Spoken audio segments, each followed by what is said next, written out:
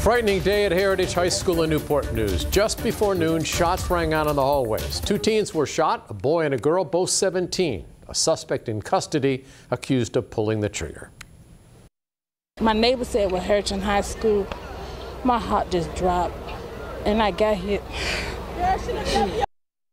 All indications are the victims and the gunman knew each other. Tonight, police and many people in the community are trying to understand what led to the shooting. Angela Vargas reports on how people are coming together to help students and staff stay strong. Community members are sending support for Heritage High School families and staff. They're also urging youth gun violence to stop.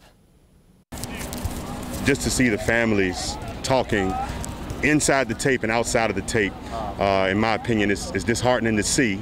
Uh, but at the same time, it's definitely a call to the community uh, to let we have to do something.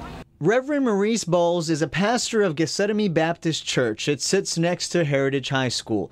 Bowles says he walked to the school after hearing about the shooting.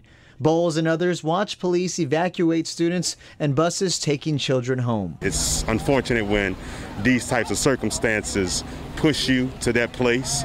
Uh, but I've also heard some other people out here saying the same thing, like that there has to be, you know, something done. During a press conference at the school, Newport News Public Schools Superintendent Dr. George Parker explained school division leaders are going to work on improving their security measures. Until then, students will not go back into the building.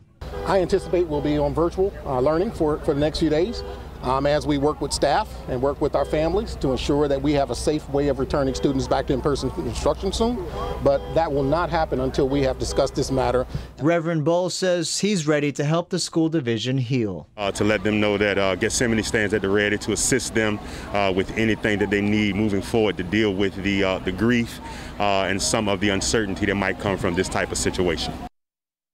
Newport News Public Schools announced both Huntington and Middle School and Heritage High School are closed for students and staff tomorrow. The middle school students have pen been pending classes in the high school while their new building is pending construction.